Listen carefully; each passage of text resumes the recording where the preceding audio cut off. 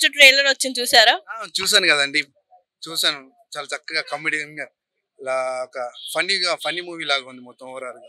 నవ్వుకున్నాను ఆ టీజర్ చూడగానే వైవా హర్ష ఇప్పటి వరకు చేసిన అన్ని కామెడీ లైక్ ఫ్రెండ్ రోల్స్ చేసుకుంటూ వచ్చాడు. సో హీరోగా సెట్ అయిందంటారా? హీరో అంటే హీరో కమెడియన్గా బాగా కిక్ అవుతారని నాకు కాన్ఫిడెంట్గా అనిపిస్తుంది. ఎందుకంటే ఆ టీజర్ చూసినాక నీ ఫీల్ అయింది అదే. హీరో కమ్ కమెడియన్గా హీరోగా అంటే మేబీ ఇంకా ఫ్యూచర్లో ఏదన్నా తనకి బెస్ట్ ఏదన్నా ఇంకేదైనా స్టోరీ దొరికితే చెప్పలేం. ఆ సీన్కి తగ్గట్టు స్టోరీకి తగ్గట్టు మోల్డ్ అవుతే చెప్పలేం. బెస్ట్ ఫ్యూచర్ ఉండొచ్చు. బహుశా.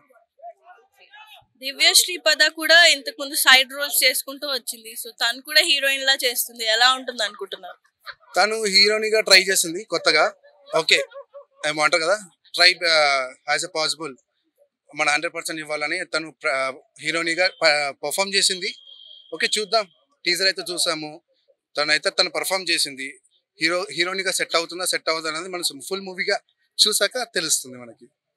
వీళ్ళిద్దరి కెమిస్ట్రీ ఎలా ఉండబోతుంది అనుకుంటున్నారు? మామూలుగా టీజర్లో చూసినట్టు అయితేనేమో కెమిస్ట్రీ అంటే ఏం లేదు. మనోడు గోకుతున్నాడు.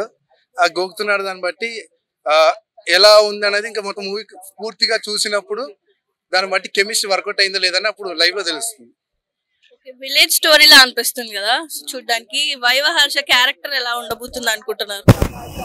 సింపుల్ అతను ఏదో చేయడానికి వెళ్ళాడు అక్కడ ఏదో అయ్యింది ఎక్స్పె ఏదో ఎక్స్పెక్ట్ చేయడానికి చేద్దామని వెళ్ళాడు.